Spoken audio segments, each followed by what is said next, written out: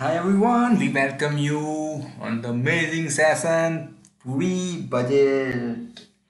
भाई दोस्तों post budget तो देखेंगे पर प्री बजट बहुत काम की चीज़ है क्योंकि पोस्ट बजट में तो हो जाने के बाद हम इजीली कहेंगे कि ये सेक्टर के लिए वहाँ पे कोई प्रोविज़न नहीं है ये सेक्टर के लिए यहाँ पे अच्छे न्यूज़ है। ओके तो वो इजी है कि कहना डेफिनेटली इजी है। और ये अभी जो हम करने जा रहे हैं वो भी इजी है ओके बट हार्ड क्या है? हार्ड है उसे फॉलो करना राइट तो चलिए दोस्तों, शुरू करते हैं वीकली मार्केट एनालिसिस जिसमें सबसे पहले देखेंगे निफ्टी। बजट वीक है ट्रेडिंग व्यू पे ले जा रहा हूँ। I use fox but TradingView भी यूज़ करता हूँ। ट्रेडिंग व्यू पे ये जो आर्ट है, जो लिखना है टेक्स्ट है, वो आसान है, इसीलिए मैंने यहाँ पे ऑलरेडी चार्ट प्रिपेयर करके रखा है। चलिए दोस्तों, देख लेते हैं नेक्स्ट वीक में क्या हो सकता है। मंडे बजट है। संभाल के कीजिएगा ट्रेडिंग ऐसा मैं नहीं कहूँगा, क्योंकि ट्रेडिंग ऑलवेज संभाल के ही करना चाहिए, वहाँ पे बजट हो या ना हो।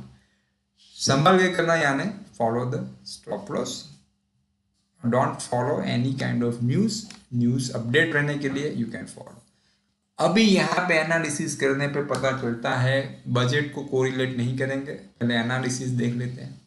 एनालिसिस से ये पता चलता है कि निफ्टी वीकली चार्ट पे ये जो ट्रैक था उसका ट्रेंड का, उससे बाहर निकल चुकी है। बाहर निकलना it's not a good sign अभी कैंडल का एनालिसिस करें तो high of that candle is one four four nine one point ten and low of that candle is one three five nine six point seventy five next week के लिए अगर मैं कहना चाहूँगा तो निफ्टी जो है one four four nine one point ten weekly chart की बात कर रहा हूँ। इंट्राडे में तो बाई अर्ली भी आ सकता है और सेल भी आ सकता है right anything can happen but as per the weekly chart nine one point ten then up वापस कंटिन्यू हो जाएगा और ये जो फॉल है, वो भी अप ट्रेंड का पार्ट माना जाएगा। ओके सो नेक्स्ट वीक के लिए सबसे इंपॉर्टेंट लेवल ये है one four four nine one point ten Nifty का क्लोजिंग है one three six three four point six three जो डेफिनेटली लो के पास है। So it is one three five nine six point seventy five right so आने वाले week में अगर Nifty one three five nine six point seventy five के नीचे जाती है तो उम्मीद है कि नीचे फॉल कंटिन्यू रहेगा। पर एज अ प्रैक्टिकल ट्रेडर अगर मैं अपनी बात करूँ तो one four four nine one point ten for long I agree one three five nine six point seventy five के नीचे फॉल उसमें भी अग्री बट एडवाइजेबल क्या है वो मैं बता दूँ। लॉन्ग के लिए रेड कैंडल का हाई एडवाइजेबल है, क्योंकि ऑलरेडी फॉल के बाद आप एंटर होते हो तो स्मूथनेस मिलती है, तुरंत स्टॉप लॉस भी हिट नहीं होता है। बट एक बड़े रेड कैंडल के बाद अगर आप शॉर्ट करते हो तो वहाँ पे फंसने की चांसेस होती है, होते हैं, क्योंकि जो क्लोज होता है वो लोग के पास है। तो नेक्स्ट वीक में अगर शॉर्ट के लिए definitely as a analysis as a analyst one three five nine six point seventy five के नीचे अच्छा नहीं है। पर अगर एज अ ट्रेडर मैं बात करूँ एनालिस्ट और ट्रेडर में बहुत बड़ा डिफरेंस होता है। ओके एनालिसिस मीन्स बोलना, कहना शेयर करना। ट्रेडिंग यानी अगर मैं अपनी बात करूँ तो ट्रेड करना है तो एडवाइजेबल क्या है वो मैं बता देता हूँ। नेक्स्ट वीक में ये वीक से एक क्लोज ऊपर आ जाना है। यानी I will look for reaction right candle का कलर मैटर नहीं करता है क्लोज जो है वो ये क्लोज से ऊपर होना चाहिए। फिर जो भी ये लो या रिएक्शन का लो जो आएगा, उसके नीचे ज़्यादा एडवाइजेबल है। पर अगर लेवल्स की बात करूँ तो वो हमने आपके साथ शेयर कर दिया है। One three five nine six point seven five week one four four nine one point ten strong strong strong but short की बात करें लॉन्ग की बात करें तो ये एडवाइजेबल है। And this only for paper trading one four four nine one point ten up trend continue हो सकता है। स्टॉप लॉस फिर ये कैंडल का लो या फिर जो कैंडल ये हाई ब्रेक करे, उसका अगर लो, इससे नीचे रहेगा तो फिर यही कैंडल का low stop loss but short side की अगर मैं प्रैक्टिकल वे में बात करूँ तो मैं तभी करूँगा जब यहाँ पे एक रिएक्शन आ जाए ओके यानी बजट वीक के बाद के वीक में, ठीक है? So this is about the Nifty analysis और आपके जो भी दोस्त हैं, उन लोगों के साथ ज़रूर शेयर कीजिएगा। फाइव थाउज़ेंड सब्सक्राइबर के बहुत ही करीब है। ठीक है, जो ऑलरेडी है, उन, वो भी हमारे साथ जुड़े रहे। We are happy right so this is about the Nifty bank Nifty का एनालिसिस हम कल करेंगे।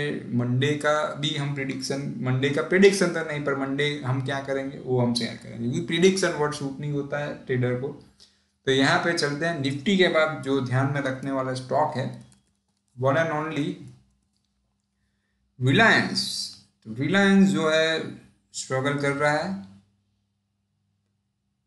रिलायंस एक ऐसा स्टॉक है जिसने लास्ट ईयर सबसे वीक भी पहले वो हुआ था, फिर जब मार्केट ऊपर जाने की तैयारी कर रहा था, उसमें भी सबसे पहले सिग्नल उसने दिया था और इस बार फॉल भी सबसे पहले उसी ने दिया है। वीक भी वही हो गया है। ये ट्रेंड लाइन क्रॉस अगर हो जाती है this is the market anything can happen कई लोगों को लगता है कि रिलायंस का क्लोज है one eight four one point nine five so impossible to cross two one two zero for Reliance but यहाँ पे इम्पॉसिबल ही होता है राइट सो नेक्स्ट वीक के लिए for me I will watch Reliance about two one two zero अगर वो cross नहीं होता है तो मैं अभी one nine two three point thirty five के नीचे ही है तो मैं तो वीक ही कंसिडर कर रहा हूँ, पर I will wait to cross two one two zero right to enter in this counter so ये ध्यान में रखिएगा, ये क्रॉस होता है तो ब्रेकआउट उसमें आ सकता है। Stop loss definitely the low of reaction one eight three zero right so this is about the next week budget के पहले का analysis for the budget week one more stocks Aarti, जो अभी न्यू कमर है एफ़ एंड ग्रुप में नया बंदा है तो उसको संभाल के ट्रीट करेंगे रैगिंग नहीं करेंगे। चलिए देखते हैं, यहाँ से रिएक्शन है तो ये रिएक्शन से आप ऐसे ड्रॉ कर सकते हो। नेक्स्ट वीक के लिए आरती एक्शन का low one one three two fifty reaction का low one one two zero point one five so what the stocks below one one two zero point one definitely, the high will be the stop loss reaction high, and it is 1193.75 आगे का fund आपको पता है कि ये लो जैसे break होता है, उसके बाद revise stop loss with the high of previous weekly candle और if you want to find the target then nearest bottom will be your target 1092.05 जितनी भी बॉटम है that will be your target and to reach the target you will need to revise the stop loss with the high of previous candle so next week के लिए आरती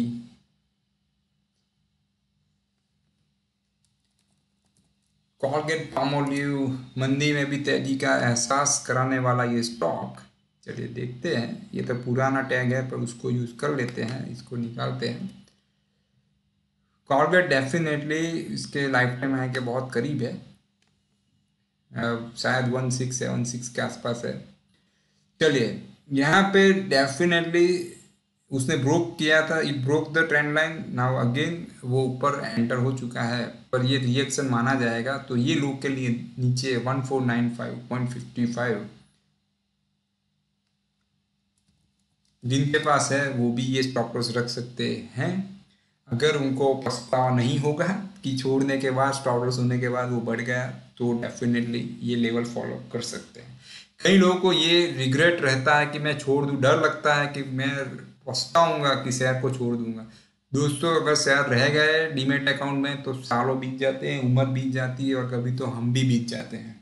ठीक है? तो ये ध्यान में रखिएगा। So this is the stop loss for जो इनके पास है, या फिर इसके नीचे और गिर सकता है। Now I am going to discuss the last stock but this is not the last video oh, I was searching in NYSC, SBI Life. हमने जितने भी स्टॉक डिस्कस किए उसमें से ज़्यादा वीक ये हैं अभी चार्ट पे। वो मैं कैसे बता सकता हूँ? तो उसमें कोई ताजुब की बात नहीं है। It's not a magic you could also say जितने भी स्टॉक डिस्कस किए उसमें से या जो भी हो सभी वापस नहीं देखेंगे। आपका वक्त नहीं लूँगा ज़्यादा। पर ये स्टॉक में आपको एक चीज़ दिखेगी रिएक्शन लिया बट उसमें भी रेड कैंडल यानी रिएक्शन भी वो सही ढंग से नहीं दे पाया। सो so, यहाँ से एक ट्रेंड लाइन जिसपे एक्शन का लो टच है। सो एट थ्री एट के नीचे एस बी आई लाइफ जिसकी लाइफ खत्म हो सकती है। Below eight thirty eight temporary base और stop loss will be the high of reaction candle and it is 885 so, these all are for the next budget week. ध्यान से trade कीजिएगा stop loss रखिएगा, किसी की भी बात में मत आना, हो सके तो मेरी बातों में भी मत आना, अगर मैं विदाउट स्टॉप लॉस आपको कुछ कहूँ तो। राइट फ्रेंड्स तो जितना हो सके वीडियो को शेयर कीजिए अपने ग्रुप में और लोगों को भी इसका बेनिफिट दें, कि उनको पता चले कि chart is very powerful one more thing जो मैं कहना चाहूँगा कई लोगों का ऐसा कहना है कि लोग ट्वीट करते हैं और शेयर बढ़ता है, ऐसा नहीं है दोस्तों। ऑलरेडी चार्ट पे वो चीज़ आती है, आप देख सकते हो you can feel it right friends so see you in the next video till that goodbye take care follow the stop loss.